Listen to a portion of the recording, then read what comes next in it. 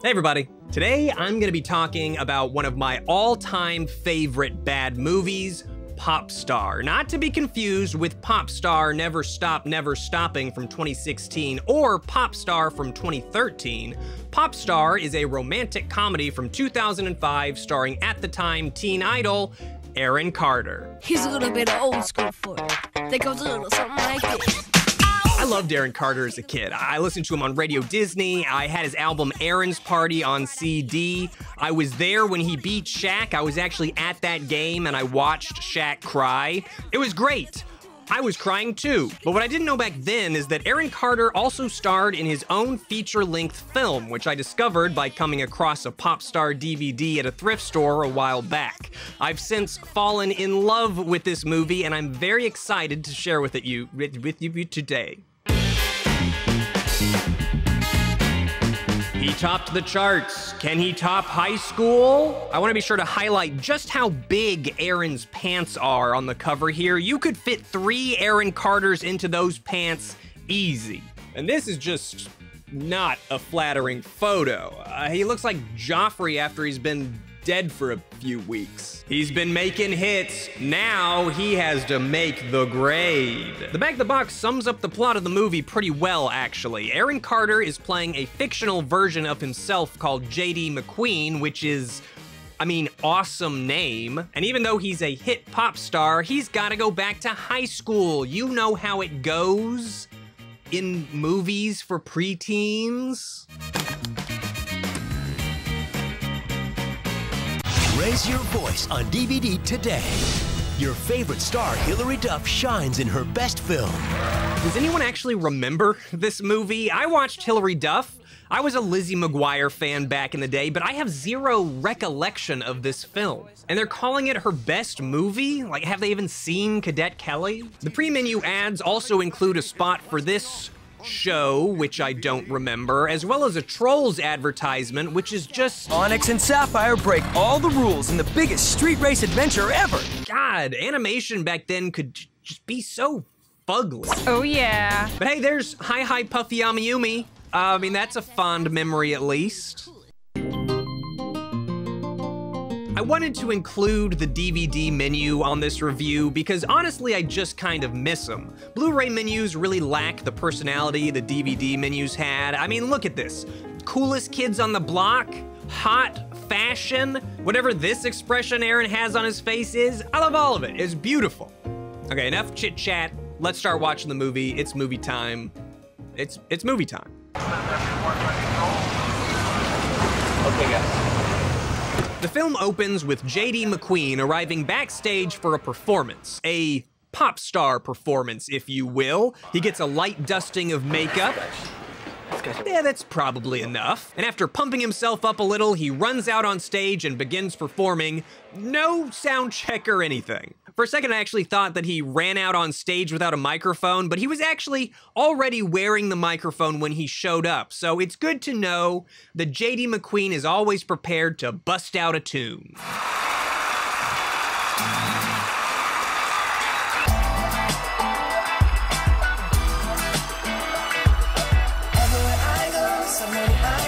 So now we got some intro credits playing over a lovely pop song. I mean, this is the good stuff.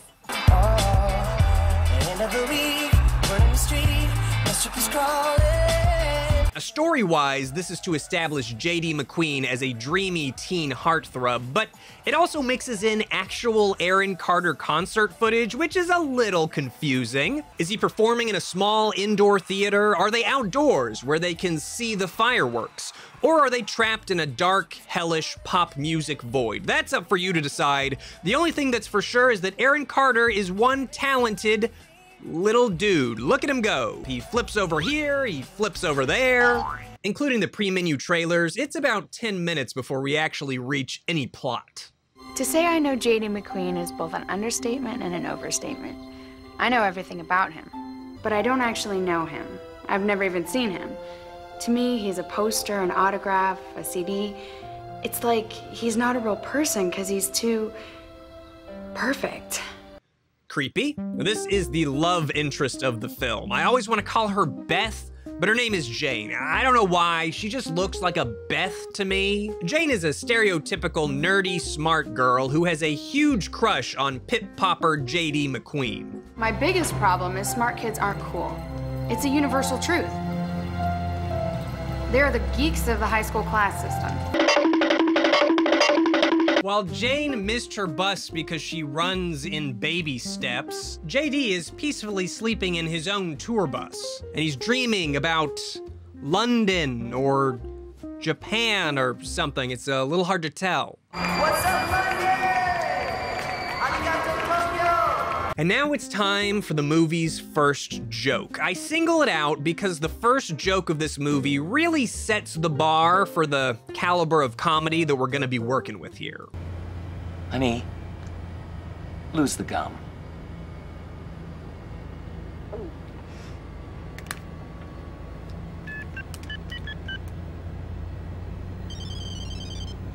Oh, just genius, genius writing here. She swallows her gum. I can't stop laughing. And how about that phone, huh? My first cell phone had one of those pull up antennas. Shit was dope. Tour's done. Album's a hit. Singles top 10. That should make the record company happy, right? Rome, What did he say? Rome? Rome. And that's it. That's the whole scene. JD wakes up, lady swallows her gum, JD says, Rome. and then it's over. Looking good so far. Now, Jane is more of a typical high schooler. She works at a stand selling something that isn't clearly defined, and she spends most of her time hanging out with ducks. But this is where I spend most of my time. Uh, cool girl. That's cool girl. Sounds like a cool girl you got there. You hear that some super freak got a perfect score on their SAT? Yeah, what a geek. Now, is this actually a thing? In TV shows, kids were always getting bullied for being smart, but I'm not totally sure that that's a thing. Especially not by the time you're taking SATs. Do seniors in high school really get bullied for getting into Harvard? Probably some total loser with no life. Speaking of regular school, Speaking of regular school, I've uh, decided to revoke your privilege of being homeschooled. For one teeny tiny reason. You're failing. So what? I'm a pop star. Aaron Carter, ladies and gentlemen, truly an actor ahead of his time. Literally every single moment he graces the screen is flawless. You are going to be a normal kid at a normal high school. You can't send me to a public school, Mom. I'm a celebrity. So JD is getting sent to public school, which you can tell that he doesn't like because of that face right there. And now we can kind of see where these two stories are going to intersect. At school. They're they're going to intersect at school.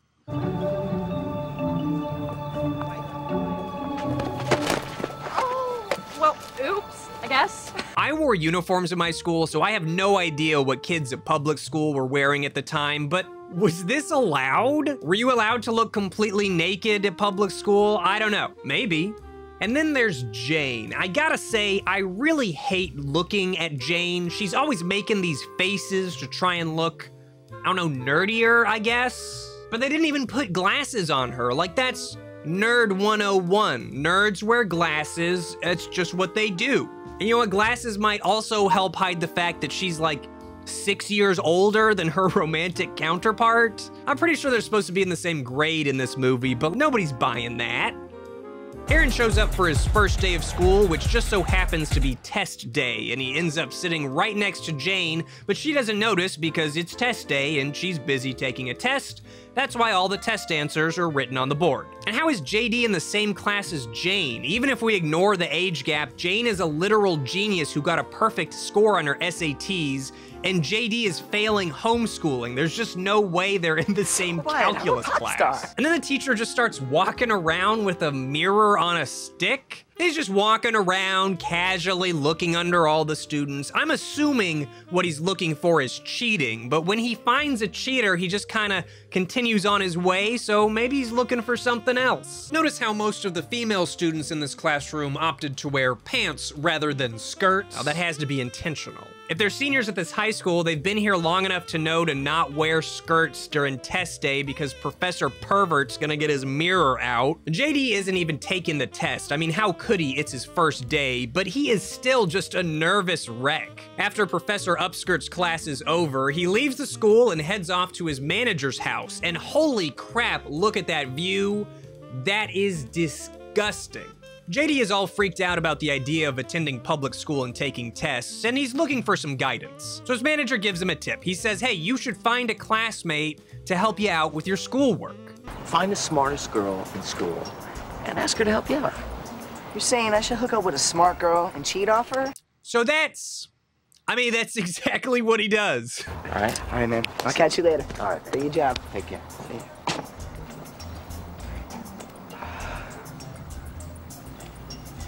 And cut.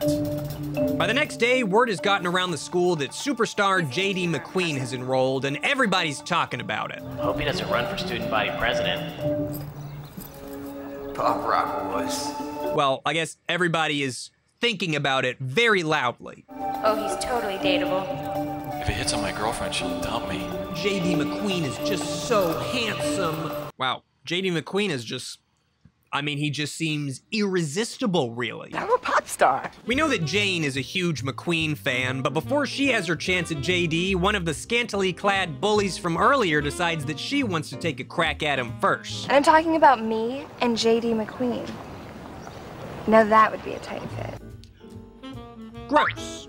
She like walks over and writes her number on his hand with barely any introduction, and then she. Know what double A stands for? Small battery. Alcoholics Anonymous, American Airlines. I know it's not her initials because her name is Whitney, so take a guess. AA? It means you can call me anytime, anywhere. Oh, of course. Smooth, smooth. That's some very real teenager slang you got there. Small battery. This whole time JD is being flirted with, Jane is secretly yoinking all of his shit. And when he puts the pieces together, he lies to a janitor to gain access to her locker. Could you help me for a second? They gave me a key to my locker, but I can't find it.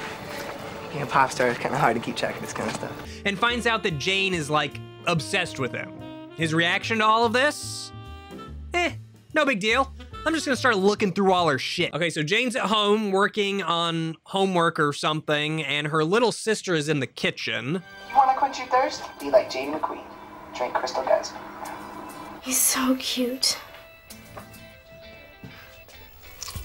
Ah, gross. And how about JD's commercial for water, huh? When I think trendy teenage pop star brand collaboration, my first thought is bottled water spokesperson.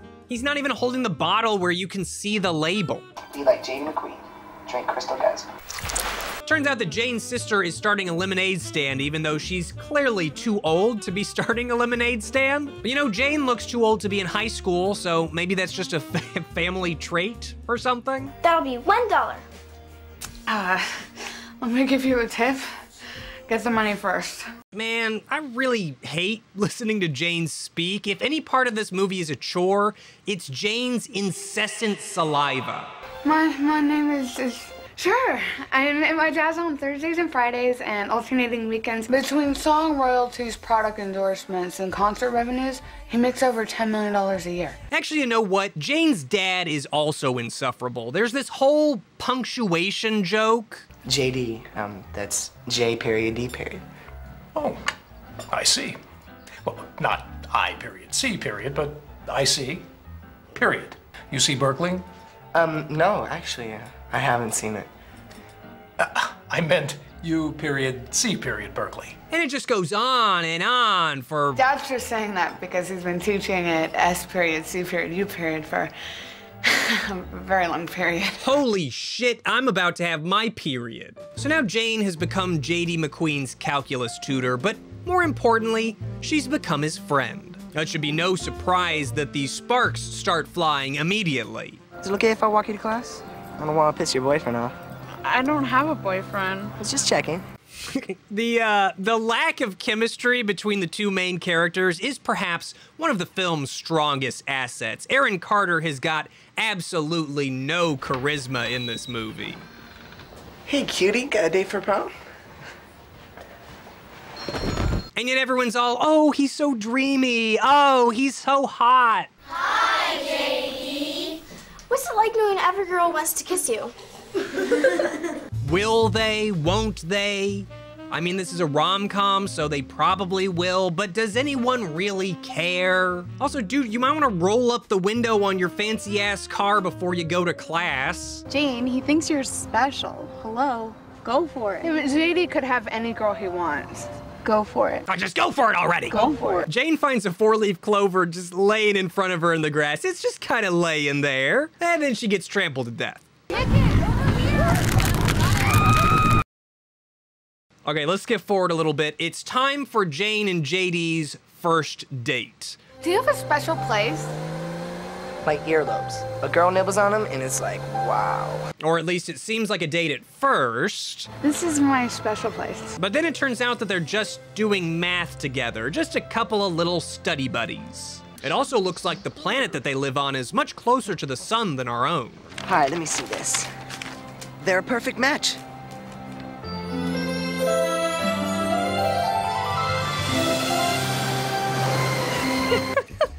They're running by the beach, fully clothed, sand in their shoes. I'm sure JD's giant pants are soaked. Holy shit, is that a dolphin? I love that they include this shot of them walking back from the beach where they just look absolutely miserable. Okay, I haven't mentioned it until now, but there's been a running theme of cars in this movie. JD McQueen's got a lot of cool cars at his home. He drives this dope-ass Mercedes-Benz that looks like crap, and he also drives this slick red Porsche. My earlobes. Jane, on the other hand, rides the bus, and she also isn't a very good driver. And after their fun beach date, she's admiring JD's fancy car. You wanna drive it? Oh, I'm not a very good driver. I hit a deer last December and I haven't driven since. That's not your fault. They jump in front of cars all the time. Not when they're attached to Santa Claus and seven plastic reindeer. So what? You had an accident. So what? You had an accident. My favorite line in the whole movie. So what? You had an accident. I've never driven a Porsche before. It's time to learn. Eh, JD's got a million dollars. What does he care if Jane crashes his fancy car? He's a pop star. Hey, I'm a pop star. Jane is having problems right off the bat. She can't even get the car in drive. I'll put it in the gear free. Hit it. Ah, well, that's all the driving instruction you need. Hit it. What else is there to driving, really?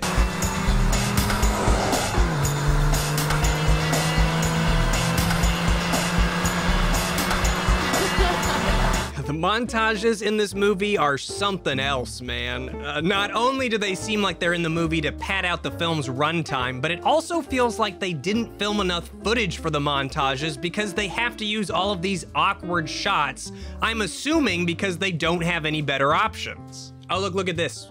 She's supposed to be doing donuts.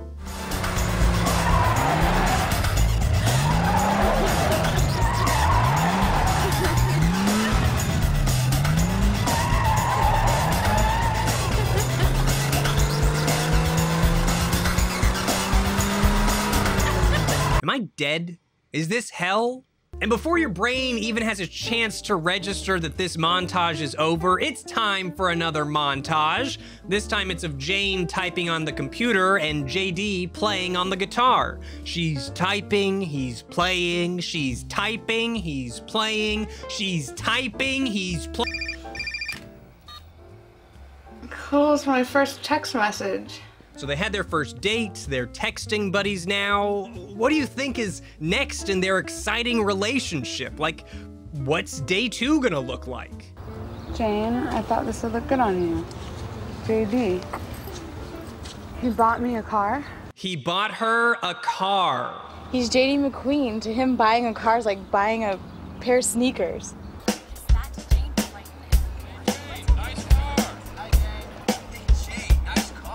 My god, Jane, we've never talked before, but I love your car. JD, is this for real?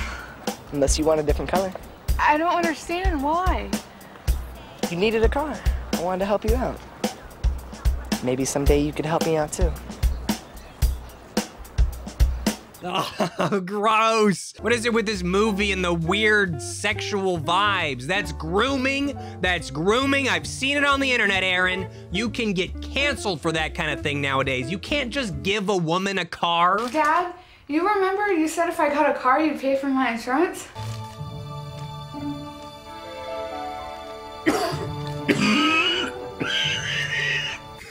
Bitch got Oprah'd.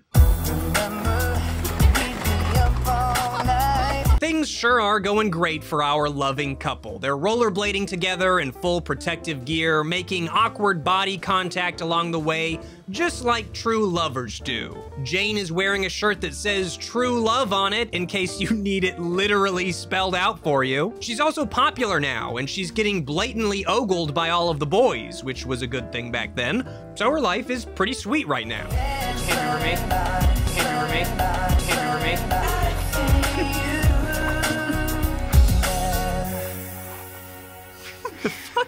She's sitting on a couch, hugging a picture of JD that she clearly printed out on her computer, and she's waving her nasty toe jam in my face. What is this? It's cinema genius, that's what it is. It's art. Was that your high school helper I saw today at the autograph thing? Yeah, her name's Jane Brighton. Uh-huh. She showed me her special place. Behind the earlobes?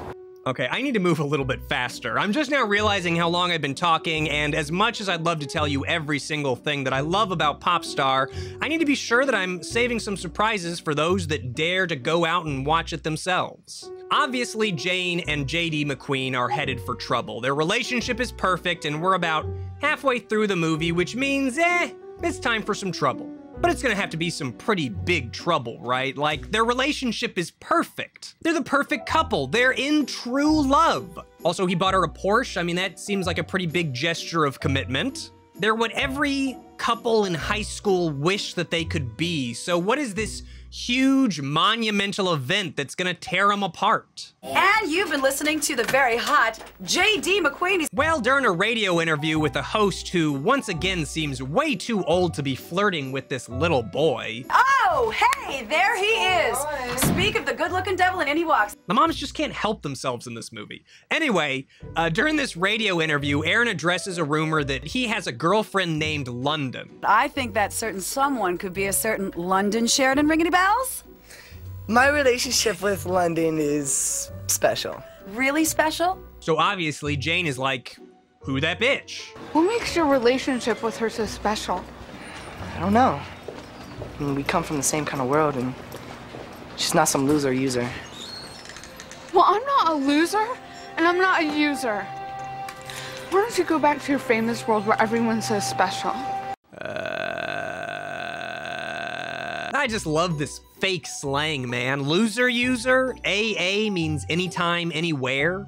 Is it bad writing or is it genius world building? JD, what's it like to be in public school again?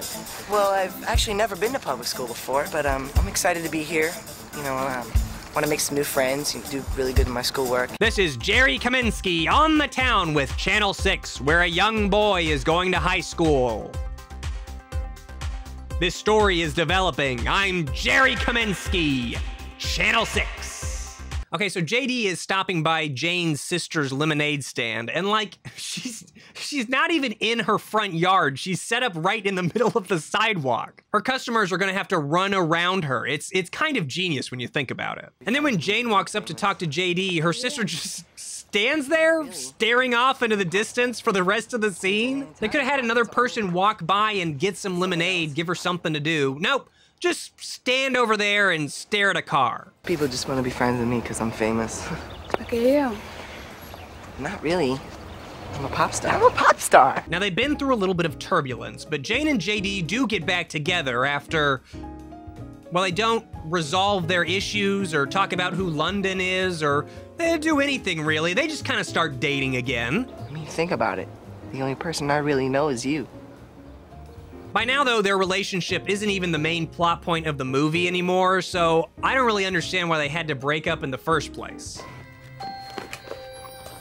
So when'd your parents get divorced? And now it's time for my favorite part of this entire movie, and that's the storyline about JD being too afraid to take tests. Now, throughout the movie, they have hinted at this. We know that this is a problem for JD, but towards the end of the film, he's put in a position where his entire pop music career rests on the outcome of one single test. If you're not out on tour this summer, you're out.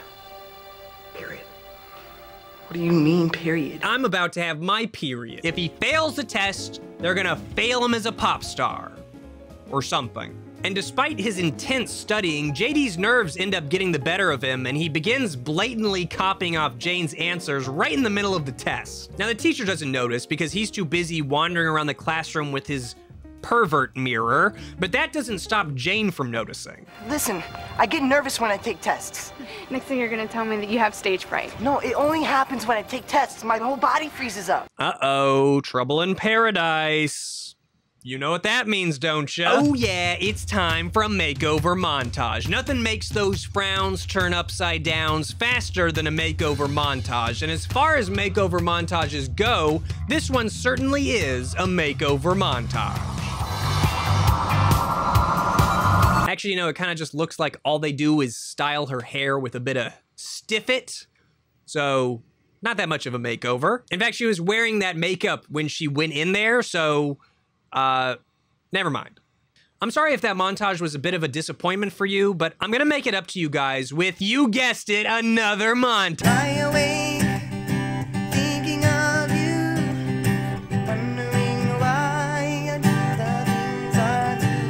Now, I'm not here to roast my boy Aaron Carter's musical ability. Aaron's Party is a masterpiece of music, and you know what? His new efforts are earworms as well. But man, this just sucks.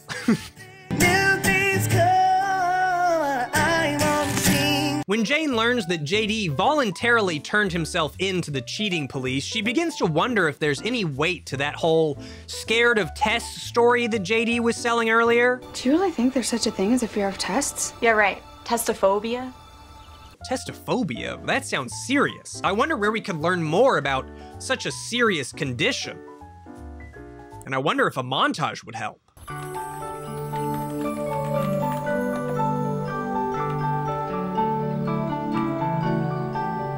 Testophobia is for real. Just because it's on the internet doesn't mean it's real. Smartest thing anyone says in the whole movie.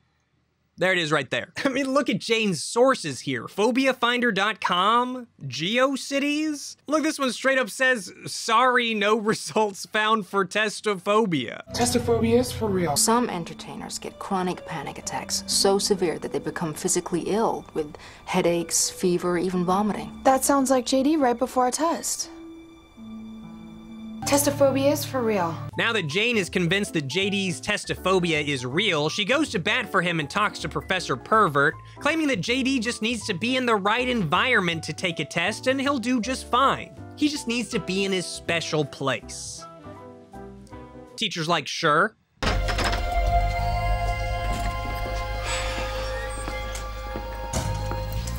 Up there's a pretty scary place for most of us. But Jane seems to think it's your special place. Behind the earlobes? All right, everybody, we've made it. It's time. JD McQueen's entire pop career hangs in the balance, which means that to get an A, we're gonna need the mother of all montages.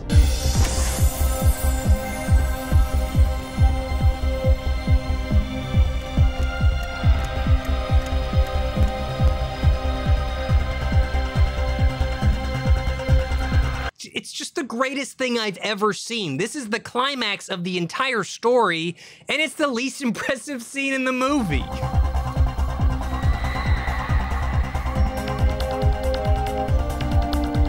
He's sitting there taking a test. There's lights flashing. Sometimes you hear the crowd go wild. It lasts for over a minute. It's just the best thing I've ever seen. Jane's not gonna like this very much. You did better than she did. I did? Aaron has successfully passed his test, surpassing the grade of someone who got a perfect score on her SATs, which proves beyond a shadow of a doubt that Aaron Carter truly is the handsomest, most talented boy in all of high school. I mean, uh, JD McQueen. All that stuff, except I said it about JD McQueen. So at the end of it all, everything wraps up just like how you'd expect. With a pop song, of course. Give me half a chance. I'll make you understand. Jane and JD end up together. The fat, nerdy guy scores a date with London, who was literally only in the movie to be a Paris Hilton joke, I guess. I don't get it. And the mean girl's boob explodes. Let me out of some words of water. The end.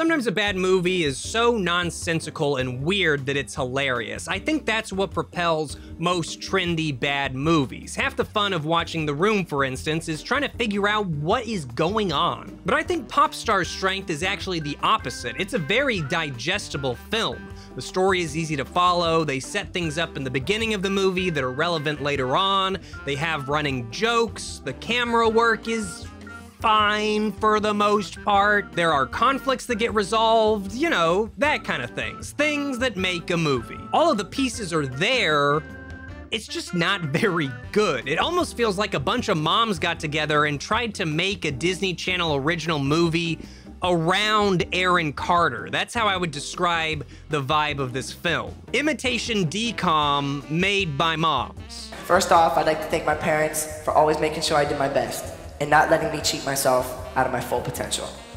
There are also a bunch of cameos by older celebrities like David Cassidy, Leif Garrett, Natalia Livingston, Tom Bosley, Stella Stevens, and some more people that your grandparents might know. And at the center of it all is Aaron Carter and his terrible acting. It really does anchor the whole film down. We're gonna have pizza and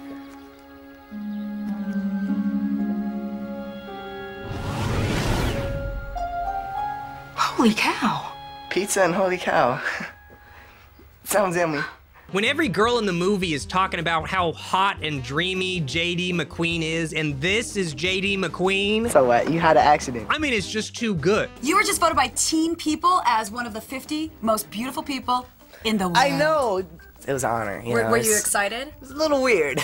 so that's the end of the movie, but I do want to mention just a few more stray observations that I had that I wasn't able to find a place to mention earlier. I had to try and keep my thoughts briefish for this video, but I can't end without mentioning the following pop star observations. There's a scene where Jane is talking to her dad, and she's got all these pictures of JD McQueen on her wall, including some of him wearing the exact shirt that he was wearing earlier today. Coincidence or creepy? There's this whole plot line about this mystical janitor that's giving out advice. Judge not those who try and fail, those that fail to try. To whom much is given, much is expected. If you can't change the wind, adjust your sail. There's a plot line about JD's manager banging a bunch of ladies, which is a weird thing to put into a kid's movie. Dating many girls makes the heart feel old. Finding the right woman makes it feel young again. Now, this line here is hilarious. You are so hot. Oh my god. I'm so glad you're my friend. I have nothing to add to that one. I just like it. I did mention that JD gives Jane a car, which is way over the line, but he also gives her a cell phone like the very first time that they meet. Here, take this. Now we're connected. That's not okay. At one point, Jane's dad ties a string around a door and also his toe. And I, I don't know what he's doing. Like, are you trying to meet the toe fairy or something? What's the deal? Oh, and let's end on one of my favorites. Uh, there's a scene where all three women in the shot are wearing flowers. You got retro flowers and you got some Asian inspired flowers over here. Uh, you know what? I have actually got the audio of when I first made this discovery. Hold on, let me play that instead. Look at their flowers. Everyone's wearing flowers. Everyone's wearing 70s flowers. Oh, more flowers.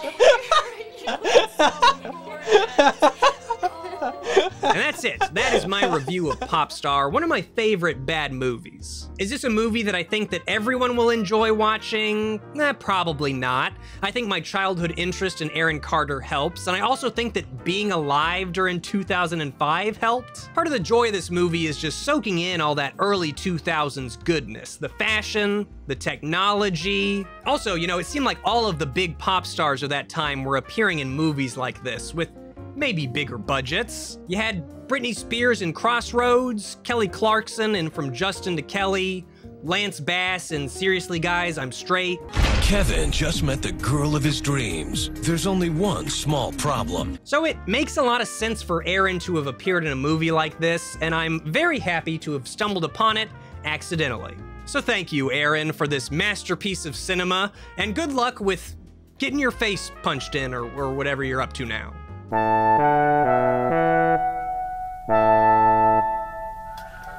I'm home. How was your show, dear? Exhausting. We did three encores, and Grant needs all the new songs by Monday, so I'll be busy this weekend. Well, this will make you feel better and meet your favorite cream pie.